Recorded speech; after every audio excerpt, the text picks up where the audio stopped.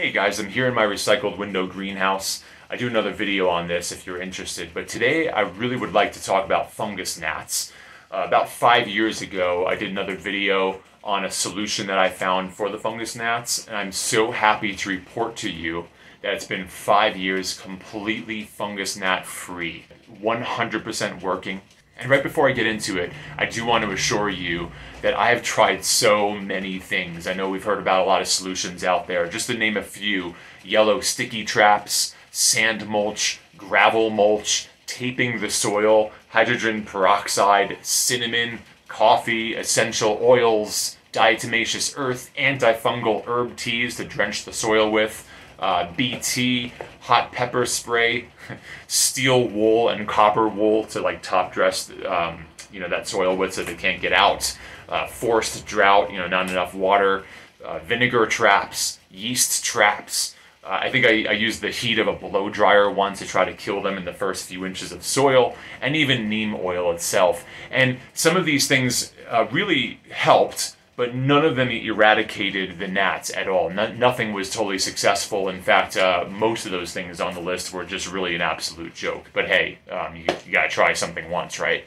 Um, so today, uh, I'm to tell you the absolute solution uh, that I've found, and that is simply neem cake. This comes in a couple different uh, like forms. You know, some things look a little bit more like uh, pellets.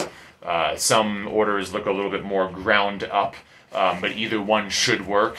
And the beautiful thing about neem cake is what you're going to do is make a neem tea with it. So you, you, pretty much steep it in water and use that water to drench the soil of, of uh, your plants because that is where the gnats live, that's where they breed, and that's where their eggs and larvae are. And, and it, it just works to kill them off, um, as well as the, uh, the adults with neem oil, it is pretty effective, but the problem with neem oil is that it's really harsh. Uh, you have to emulsify it first in water using some dish soap and stuff like that. And between the oil and whatever the emulsifier is, it's going to be a little bit rough on your soil, your microbes, your plant roots. Um, you know, things really need to breathe down there, and soil structure is really important.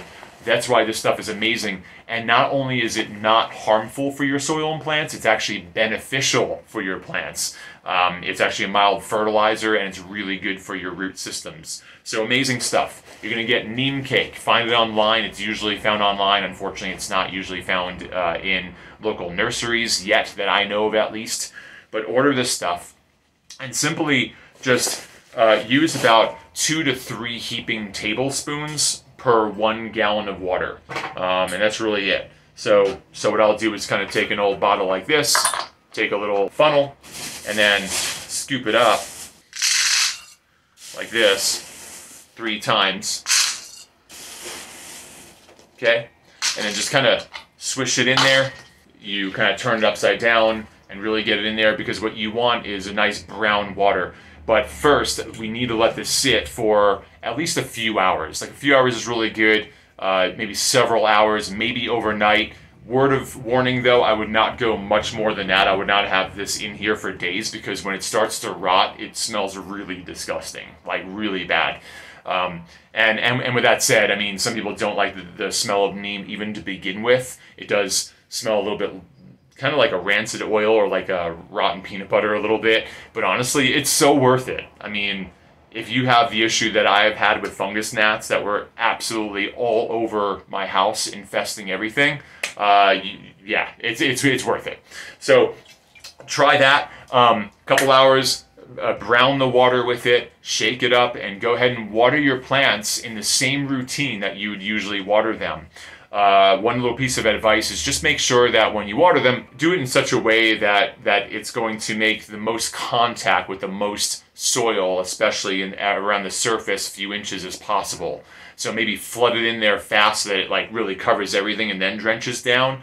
Or if you don't have that kind of effect in your soil, do the opposite where you go real slow and really just try to get thoroughly the entire surface uh, of the soil. So that's really it. Whenever you would usually water your plants, uh, do it with the neem. And with, within several waterings, the, the, the gnats should be completely gone. Of course, there are different factors, so it's going to take a certain amount of time uh, for uh, for one versus the other. But I could almost guarantee you guys, like in time it will kill them because it messes them up on on a hormonal level where um, you know, they just don't eat properly and they don't breed properly. It's not just going to drop them all dead right away, um, but it's just it's beautiful knowing that they are experiencing a slow and tricky and strange death to their entire population.